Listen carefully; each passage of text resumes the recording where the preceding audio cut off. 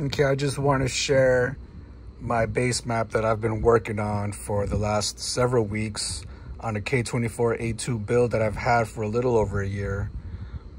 Um, more important things were just uh, making the car reliable and safe, uh, finishing up some electrical wiring, the suspension alignment, some work with the interior, organizing things, and now I'm just starting to get into these maps the spark maps, ignition, cam angles, fuel, all that stuff. And I've been using Chat GPT to help me understand it and get a grip of it. And ChatGPT has helped me make tremendous progress in the last four weeks. And I wanted to show you exactly how. So this map, let me move this off to the side. Now, the reason I'm doing, first off, I want to do this video because there's a lot of um, discrepancies and technicalities with tuners and advice. A lot of it is pretty much advising people not to get too brave or confident too soon and possibly cause some damage to your engine. Nobody wants that to happen. But this, I'm going to show you how I know this is a safe tune and I'm going to share with you the things that I've learned and what I've done. Now, this used to be, let me put it on the field trims because that's what you guys are used to seeing more often. This used to be a base map. Now, let me see if I can, let me show you something. Well, to cut to the chase, you know what a base map looks like because you can go to new calibrations, open it up, choose your, you know, model car with the computer and the engine you're dealing with, and you get a base map. Now, this base map has been revised many, many, many, many times over by myself. Now, just to keep this video short, I'm going to show you something I did today in a parking lot. It was a Walgreens parking lot.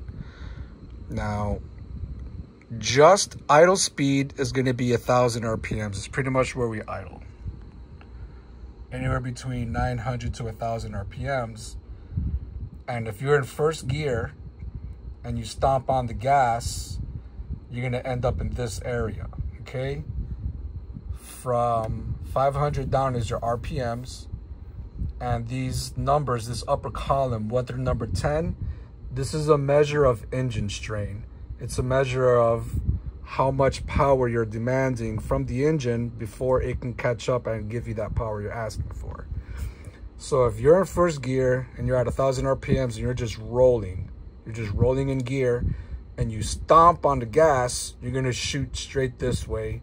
And as the RPMs go up, this is gonna start to go up with the RPMs, but it's also gonna come closer this way because as the as the vehicle catches up to RPMs, and the throttle demand that you're asking for it, the engine stress reduces as the as the engine catches up to the power you're demanding.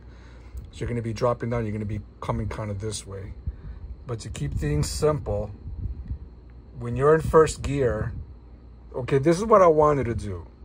I want to put the car in first gear, let it roll, and I just want to stomp on it.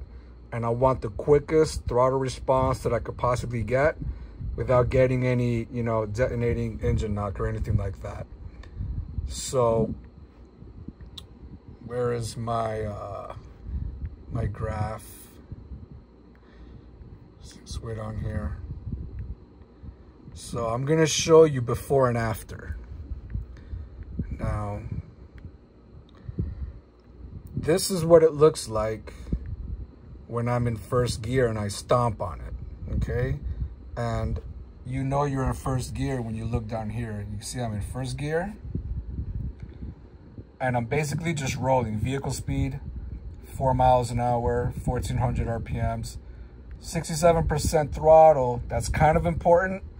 But the value for for 67% is your maps, which you want to look up here, your kilopascals. Okay, now if this is already, if this is once you hit 100, that's max. 100 kilopascals is going to put you all the way at the very end of this chart. So what I wanted to do was stomp on the gas and see how responsive the car was, which it really wasn't. Now, let me move this off to the side. over here. I basically just put my foot on the gas. That's what this line is. I put my foot on the gas. I made sure I was at a 1,000 RPMs just to be solid. And then I stomped on it for about a, a, a second. Now, you can see the throttle demand comes up. Your KPA skyrockets because your car is not even moving. You're basically at idle speed. The car hasn't even had a chance to move. You just stomped on it in a fraction of a second. And now you have all this engine strain up here and as the RPMs come up, your engine strain goes down because now the engine, you're giving the engine a chance to catch up to your power demand. Now, the amount of throttle that I gave it, 75%, I'm at 100% KPA map, that's max engine load. And you can see the angle, you can see the angle of the RPM, which is this red line. Just take note, right? Came up, you know, so-so so-so. Now, where's my knock? Second thing you want to look at is knock, which is something that is, it's a no-no. You really don't want to get knock. And what knock is, is basically the combustion in the cylinder happening all by itself before the piston has a chance to reach top dead center and get pushed down by the combustion. That either happens by setting an ignition too soon. You're igniting the fuel way before the piston comes close to the top. Or it happens if your engine is overheating, you're exceeding 250 degrees, and now you have the added element of higher temperatures with the compression of the piston coming up to compress the fuel and you're gonna it's gonna ignite on its own before the fuel injectors have a chance or I mean excuse me before the spark plugs have a chance to ignite it so we're gonna look at knock really quick and you see where it says zero count? We had no knock detonation before the attempt. And after the attempt, we still have zero knock. But this is a measure of, this is another measure of not exactly engine strain, but it's the capacity or the ability to potentially have knock because you're coming into close quarters. Now, we came close, knock limit we're at minus three degrees and knock control is working at 15%. We're still okay, it's safe, it's still okay. After making the changes that I made, we come up to here where I saved it. I did a little test run, I liked it and I saved everything.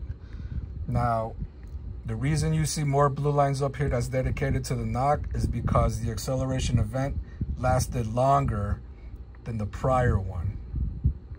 You can see how narrow that is versus I had my foot on the pedal for a lot longer. Now, first thing I want to show you is look how aggressive and responsive the RPM line is.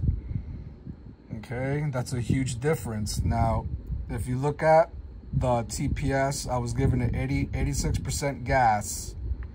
And on the prior one, if I come here to the to the to the peak of it, I was giving it 75%. So that's just 10% more fuel, 10% more fuel, but look, look how, look at the dramatic difference on the throttle response. Okay, we're both at max KPA. Um, I was doing seven miles an hour when this happened. And on the other one, I was doing five miles an hour. So we are still, we are still pretty much really close identical. These are very comparable events that were recorded in data logs.